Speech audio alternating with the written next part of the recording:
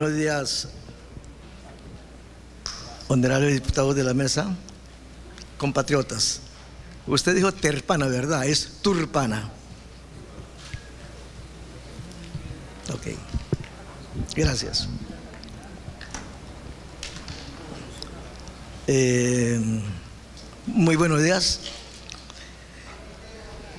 Nosotros estamos por una asamblea constituyente originaria Panamá, nuestro país, se independiza de España de la madrastra patria el 23 de noviembre de 1821 y se une a Colombia cuando allí ya regía la constitución de Cúcuta, que fue promulgada el 6 de octubre de 1821.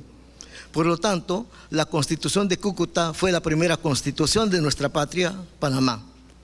Durante todo ese tiempo, Colombia, Colombia tuvo varias constituciones, entre ellas la Constitución de Río Negro, que estableció el sistema federal, por la cual Panamá pasó a ser, ser Estado federado. Pero en 1886, bajo la presidencia del presidente Núñez, se reinstituyó el centralismo y con ese centralismo desapareció el Estado federal de Panamá para convertirse en una provincia colombiana.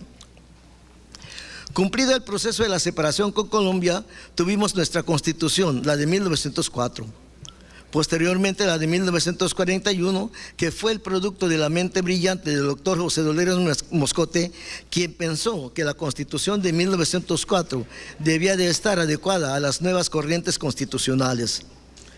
Después tuvimos la constitución de 1946 y luego la de 1972, en la que se legitimaba el coup d'etat o el golpe de Estado que dieron los militares el 11 de octubre de 1968.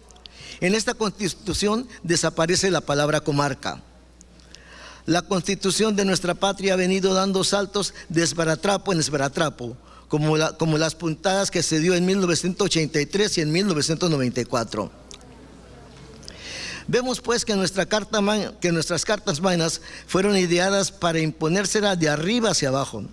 Se habla mucho de instituciones democráticas. La palabra es de origen griego y significa el poder del pueblo y la institución tuvo su cuna en Atenas y era un sistema de gobierno en el que una asamblea de ciudadanos tomaba las decisiones que debían de tomar, pero ni las mujeres, ni los esclavos, ni los extranjeros formaban parte del sistema gubernamental. Era un sistema excluyente en un medio en que la mayoría del pueblo estaba formada por esclavos que no gozaban de los derechos humanos y, y por lo tanto nuestra llamada democracias o instituciones democráticas se parecen a la democracia ateniense, en vista de que hay una casta de privilegiados y otra de parias que no gozan de los bienes del Estado debido a un modelo de desarrollo económico injusto, a una justicia que solo beneficia a los poderosos, pero que a los pobres les cae con todo su peso. Por ello es preciso refundar el Estado Nacional con con la herramienta que nos ofrece una constituyente. En nuestro país, esta casta de privilegiados, llamada oligarquía, término que Aristóteles utilizó como sinónimo de señorío, esta clase está empotrada en todos los partidos politiqueros, patronatos, en los llamados clubes cívicos, desde los cuales pueden saquear al mejor estilo de los gamberros que llegaron de España las riquezas de nuestros explotados pueblos para seguir engordando sus riquezas. Nosotros estamos convencidos de que para que, por la vía democrática podemos refundar el nuevo Estado Nacional con la participación directa de la clase obrera, de los movimientos sociales y populares y de los pueblos originarios que nunca participaron en la confección de alguna de nuestras cartas magnas. Se ha dicho que el texto que presentó la Concertación Nacional para el Desarrollo iba a ser consultada a la ciudadanía. Sin embargo, no es así. Hasta ahora, allí donde han llegado los acólitos de la Concertación Nacional para el Desarrollo, han ido a lavarles el cerebro a los ciudadanos para que aprueben a pie juntillas lo que dice el texto. Es por eso, por todo lo que estamos diciendo, que optamos por una constituyente originaria y no por bismas o esparatrapos que constituye que una constituyente originaria donde quepamos toda, en todos en nuestra diversidad.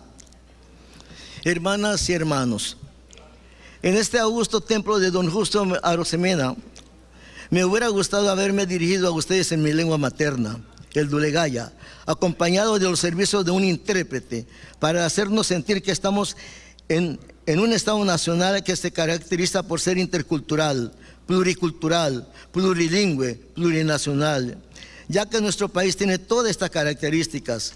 Y ojalá los parlamentarios originarios que ocupan un escaño se atrevan a hablar en su propia lengua materna con todo el derecho que la actual Carta Magna les da, ya que las lenguas nativas son lenguas raizalmente panameñas que no han venido de la Europa de España.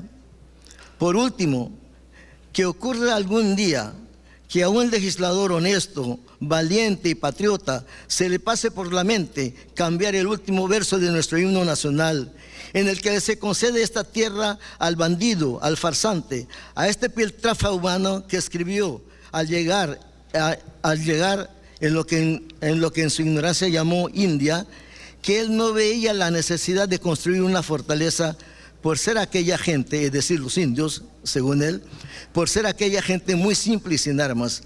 Por lo tanto, él podía tenerlos en la misma isla cautivos porque con 50 hombres los tenía todos juzgados y les harán llegar y les harán hacer todo lo que quisieran. Estas son las palabras del almirante formales.